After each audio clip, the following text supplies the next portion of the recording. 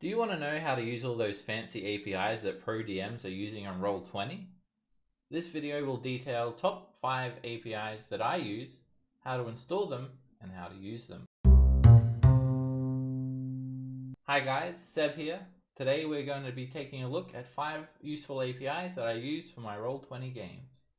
Please note that these APIs are not ranked in any particular order, also, I'll be making another video with five more APIs that I use next week. So please hit that subscribe button if you want to catch that.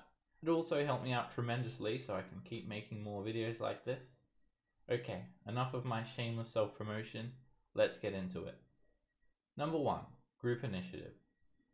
Group Initiative is an awesome API that will save many precious hours of playtime over the life of a campaign. It allows you to select an entire group of tokens, party members, and enemies alike, and it will roll initiative for every creature and place them in the turn order. This is particularly great for short-lived encounters that might have you spending more time sorting out initiative than kicking monsters' asses. I know rolling initiative is also a fun part of D&D for the players, so you might want to consider only rolling for monsters and having the players still roll their own initiative like normal. Please note that this API does not roll from your initiative bonus from default, so you will need to input a couple of small macros into the chat box after installing the API before using the API. You can find these macros in the description below. Number two is group check. While we're talking about group APIs, we might as well introduce group check. Ever had a party member fireball a group of 10 bugbears and then proceed to have the party listen to you mumble to yourself for the next five minutes about making saving throws. This one takes half damage. This one takes no damage. This one had cover. Well, mumble no more. With this API, you're able to select a group of tokens and have them all roll their saving throws at once with a click of a button. This API also requires a macro to use and you can find the macro in the description below. With a few simple clicks, you can turn 10 minutes of complex mathematical equations into a breeze. Of course, it's great to have 10 saving throws rolled within 10 seconds, but what about sorting out the damage after that? Another tedious task for sure. Don't worry fellow adventurers and dungeon masters, this next API has got you covered. Number 3. Apply damage. This is a really simple one and works with group check. After rolling multiple saving throws, what if you could then click a single button and it will apply the damage to all of the tokens? Well, I'm sure you've already figured out what this API does. Simply install the API and voila. Please note that this API only works with the aforementioned group check API.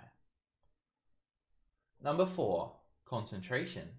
This is a personal favorite of mine, and I want to send a special shout out to Robin Kuiper for taking my feedback and developing this amazing API. Ever forget to roll concentration saves? Tired of stopping the flow of combat as you wait for someone to make a constitution saving throw every time they take damage? Well, this API is going to take a load off of your players and also you as a DM because it will automatically roll your constitution saving throws when you take damage. All you need to do is install the API and assign a token marker for concentration. The default marker is the little clock icon, but I like to use the yellow dot personally. Even better, it will take off the concentration marker if you lose concentration, and it even has support for the Warcaster feat, which will roll your saving throw with advantage. Please note that this will not add a monster's proficiency bonus to the saving throw if they are proficient in constitution saves. Maybe this is another feature that could be added in the near future. And number five is good old 5th edition OGL by Roll20 Companion. An awkward name, I know, but names don't usually make sense when you're talking in code anyway. This API should be essential for any campaign, really. It adds some great features to your campaign, such as ammo tracking, death saving throw tracking, and spell slot tracking. It even has a built-in long rest button, but it can be a bit tedious to use you need to do an exclamation mark and type in exactly your character's name as shown on your character sheet, and this is also case sensitive. If you want to see a better API that will, will provide a one-click long rest button for your party members, then make sure you are subscribed and check out part two of this video next week. Until then, thanks for watching and I hope this video enhances your Roll20 game so you can spend more time focusing on kicking monsters' asses and less time doing tedious mathematics exercises. If you have any questions about any of the APIs, how to install them, how to use them, or anything at all, please drop a comment below and I'll be happy to answer them as soon as I can. I'm Seb, and I'll see you soon.